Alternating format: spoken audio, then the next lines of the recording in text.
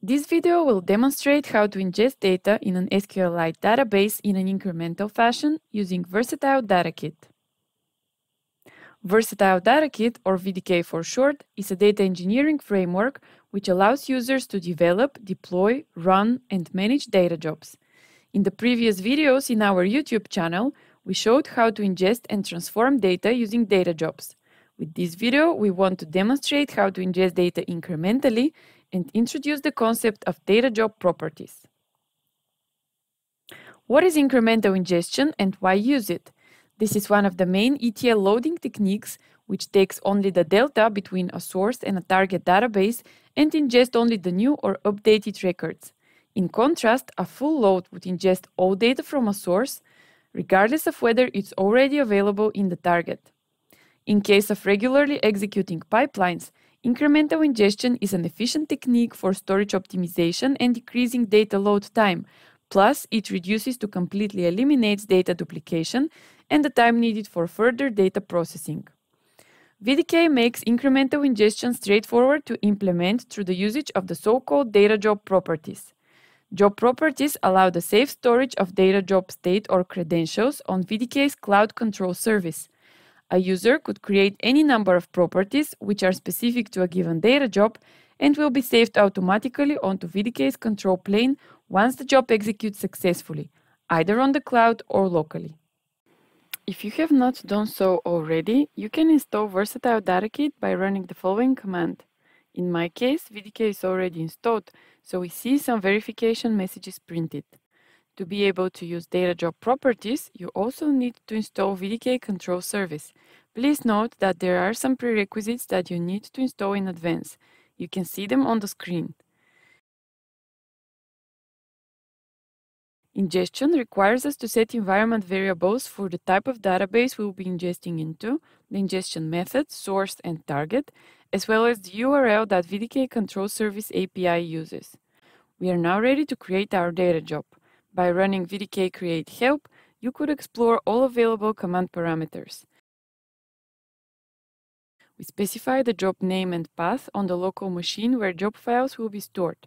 Optionally, we could also specify a team to better organize jobs in case multiple people work on them. The default team name under which all data jobs are created, unless specified otherwise, is Taurus. Let's quickly look through the initial data that we will be ingesting. We will use a local SQLite database as source and specifically a simple table with three columns, an ID, description, and reported date. The date field is important for the incremental ingestion part. We will use it later on to identify the records that need to be incrementally ingested. After the initial load takes place, we will enrich this data source with new records. Now let's look through the contents of our data job. In general, VDK allows the usage of both Python and SQL files. This data job, however, contains only one Python step. It also has a configuration file containing the data job deploy settings and a README file. Looking through the Python logic, to determine whether to perform a full or incremental load, we use the last date job property. If this is the first time that the data job is run, last date is initialized to 1st of January 1900, a date long ago in the past that would ensure all records from the source table will be fetched. On the other hand, if the data job was run previously, we would take the property value already stored in VDK's control plane from the last run. This is done using VDK's getProperty method. Next, we use VDK's built-in execute query method against the source SQLite database, which we configured in the environment variables earlier, and use the last date variable to fetch only records after the given date. We then extract the column names and post the data for ingestion using VDK's send WR data for ingestion method. The last step is to save in the last date property the maximum value of the reported date column that was just ingested. This will ensure that only new records will be inserted into the target the next time that the job is run. To run the data job, we execute the VDK run command together with the jobs directory. The logs indicate that it ran successfully. We see that during the execution of the Python file, the last date property was replaced with its corresponding value in the SQL statement fetching data from the source. There's also a message informing us that three records were successfully ingested into the target. To verify this, let's check the contents of the target database table using the execute query method again, but this time directly in the terminal. Before running the query, we need to reset the VDK SQLite file environment variable to the target database. So far, it was pointing at the source database table. The output matches what we expect to see. Now let's check what happens when the source table is enriched with new data.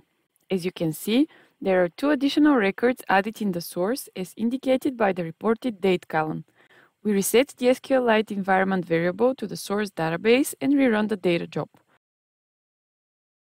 The value of the job property has been replaced with the last reported date from the initial ingestion step, and the output prints that two new records were ingested. We verify by querying the target table again. As we can see, only the new records were indeed added to the target. There is no duplication of the historical data. VDK offers a useful command to interact with the properties of a given data job directly through the terminal. We can list, add, delete, and override properties without the need to rerun a job. As you can see in the list of properties we've just outputted, the value of the last date property of the incremental ingestion job reflects the last reported date in the ingested data. This completes our demonstration of incremental ingestion using VDK data job properties. For more information on Versatile Data Kit, visit the GitHub repository linked in the description or join the VDK Slack channel.